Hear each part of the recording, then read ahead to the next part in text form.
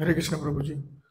अ, मेरा सवाल है कि जैसे आत्मा तो इंडिपेंडेंट है और वो अपना फ्लो करती रहती है परमात्मा के उस- उस- उससे। तो मतलब इसमें फिर कर्मों का फिर उस पर क्या प्रभाव पड़ता है? कर्मों से मतलब क्या उस पर जब कोई चेंजेस ही नहीं आते हैं जब उस पर कोई कोई- जब उस पर कोई प्रभाव ही नहीं है हम्म, मतलब वो बिल्कुल एकदम आइसोलेटेड है मतलब हर जगह से हर चीज़ से तो फिर इसमें फिर हम लोगों का पाप पुण्य और बाकी जितने भी कर्म है इन सब का आत्मा से फिर क्या लेना था हाँ जैसे एक, एक व्यक्ति को जेल में रखा जाता है तो जेल में तो उसको कुछ होगा नहीं पर जेल में तो रहेगा ना।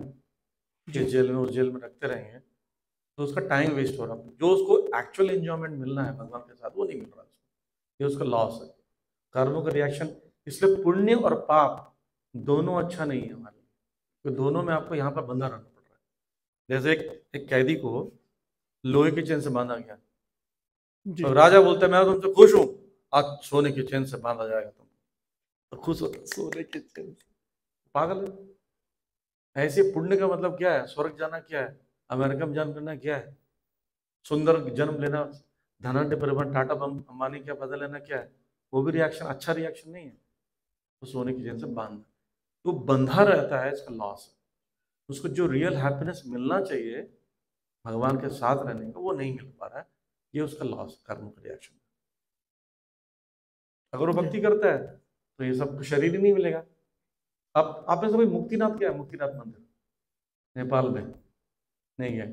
वहाँ जाइए वहाँ पर ना बाहर दो कुंड पाप कुंड पुण्य कुंड। इतना ठंडा है ना आप आगे जा नहीं पाओगे इतना ठंडा। तो पाप कुंड में स्नान करने से पाप नष्ट पुण्य में करोगे तो पुण्य भी नष्ट। मुक्ति। भगवान के पास जाने के लिए आपको पाप और पुण्य दोनों ज़ीरो करने पड़ेंगे। तब भगवान के धाम प्रवेश करोगे। पुण्य के लिए अगला शरीर लेना पड़ेगा। आपने इतना पुण्य किया कि करोड़पति बनोगे। भगवत धाम तो करोड़पति नहीं बन सकते ना। यही बनना पड़ेगा तो यहाँ जन्म लेना पड़ेगा। यहाँ जन्म लोग तो जन्म मृत्यु, जरा व्याधि, दुख, दोषान, दर्शन। फंस गया ना फिर?